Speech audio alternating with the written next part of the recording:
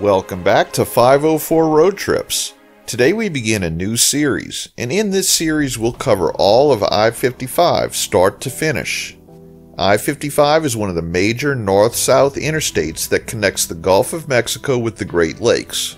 Well, it doesn't quite reach the Gulf of Mexico, but it comes very close. You could actually drop a boat into the water a stone's throw from the southern terminus and connect directly to the Gulf of Mexico via Lake Pontchartrain and Lake Borgne. We begin about 20 miles west of New Orleans on I 10 in Laplace, Louisiana, and turn north onto I 55. The southern half of I 55 closely follows the original path of US Highway 51, which runs along a narrow spit of land just to the right. The old highway is still open under local maintenance, and at the first on ramp, the current alignment of US 51 joins up with I 55. That on ramp also carries traffic from eastbound I 10 that is, traffic coming from the west onto I 55, as there's no direct connection between I 10 East and I 55 North. Almost the entirety of this video will be on the Manchac Swamp Bridge, a twin concrete trestle viaduct that extends 22.8 miles above the thickly wooded swamp. This is the longest bridge on the interstate highway system, the 10th longest bridge in the world of any type, the second longest bridge over water, and the longest toll free bridge in the world. This bridge was the last section of I 55 in Louisiana to be built and was completed in 1979. The Manchac Swamp Bridge covers nearly one third of I 55's mileage within the state of Louisiana.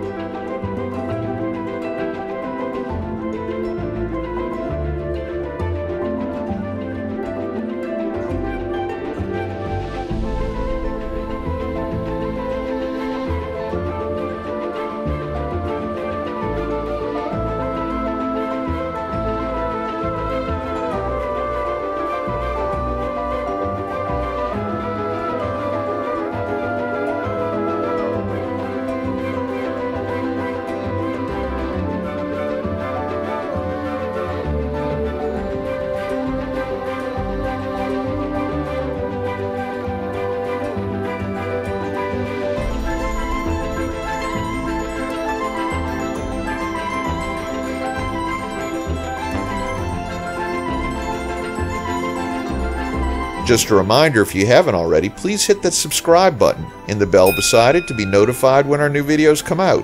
And give us a thumbs up or hit the new super thanks button if you enjoy our videos.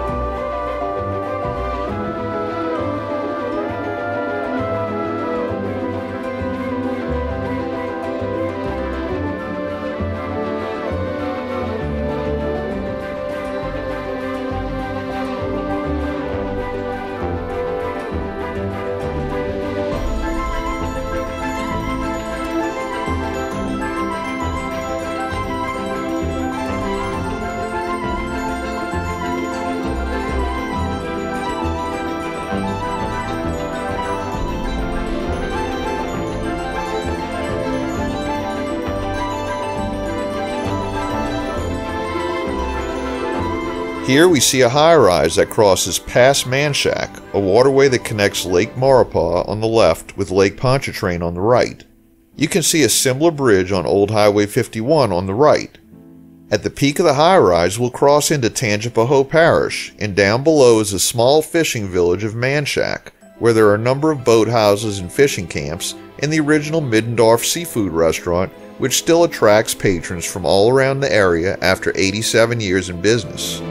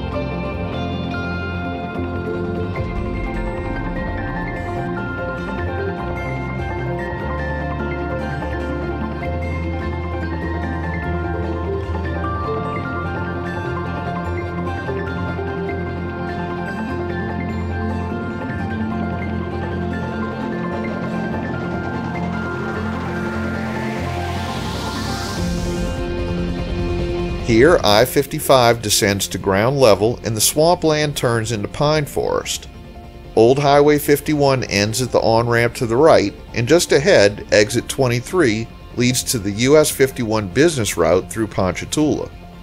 The business route was the original main line of US 51 prior to the construction of I 55 in this area, which dates back to the 1960s.